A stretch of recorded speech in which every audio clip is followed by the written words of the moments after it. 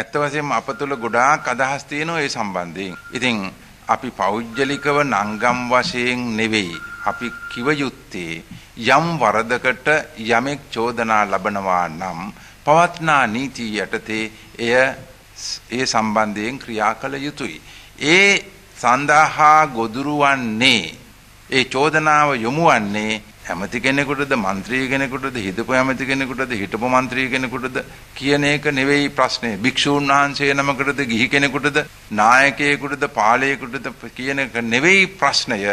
වරදකරු වරදකරු ලෙස සලකා බැලීමට පෙර ඔහුගේ චෝදනා විභාග කළ යුතුයි. ඉතින් මේ සිවුරක් මා දරාගෙන හිටියත් මට එරෙහිව යම් චෝදනාවක් ඉදිරිපත් වෙනවා නම් ඒ චෝදනාව සම්බන්ධයෙන් විමසීම අධිකරණයේ ක්‍රියාමාර්ගය. ඉතින් අපි අධිකරණ ක්‍රියාමාර්ගයට හිස නැවිය යුතුයි.